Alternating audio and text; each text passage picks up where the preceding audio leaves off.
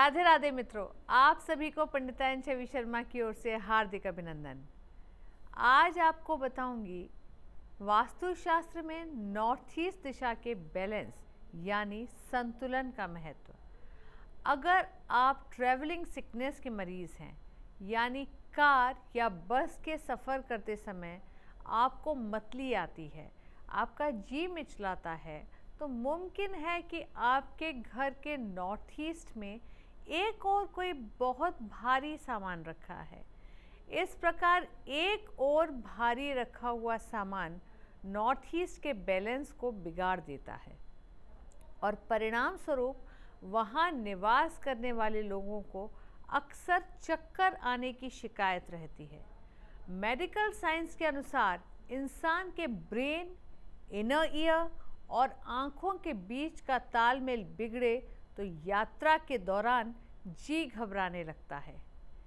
Science और शास्त्र में बैलेंस रखते हुए पंडिताइन हमेशा करती है आपके पते की बात। इसलिए जितना जल्दी हो सके उस भारी सामान को व्यवस्थित ठिकाने, यानी दक्षिण या पश्चिम में पहुंचाएँ और अपने घर के नॉर्थ ईस्ट में एक कांच के बर्तन में आंवले का नमकीन अचार बनाकर रखें और यात्रा से पहले और यात्रा के दौरान थोड़ा थोड़ा करके आंवले का अचार खाएँ।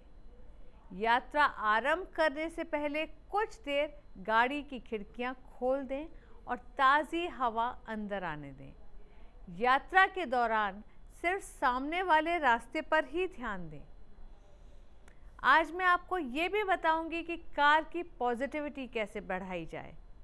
अपनी कार को पार्क करते समय ध्यान दें कि आपका चेहरा दक्षिण में ना हो, यानी कार को ईस्ट वेस्ट या नॉर्थ फेसिंग ही पार्क करें। शास्त्रों के अनुसार, जो वाहन कई दिनों तक बंद पड़े रहते हैं, उनमें नकारात्मक ऊर्जा इकट्ठी हो जाती है। कुछ ऐसा ही मानना वैज्ञानिकों का भी है। दरअसल बंद गाड़ी के अंदर विशेष प्रकार की हानिकारक गैस उत्पन्न होती है, जो उसमें पड़ी पानी की बोतल तक को नुकसान पहुंचाती है। इसलिए शोधकर्ता सलाह देते हैं कि आपको बंद कार में छूटी हुई पानी की बोतल से पानी नहीं पीना चाहिए।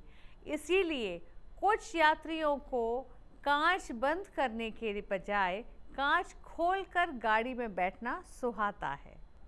एक छोटे मलमल के कपड़े में 20 ग्राम कपूर और 20 ग्राम चंदन पाउडर बांधकर पोटली बनाएँ और इस पोटली को कार के अंदर रखें।